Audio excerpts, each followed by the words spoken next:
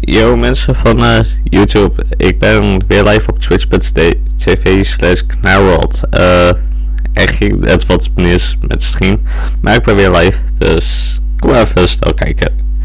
En uh, deze video komt ook gewoon op TikTok terecht, want ik had ineens een video idee. En die wil ik met jullie delen. Dus dan weten jullie het alvast. Joe.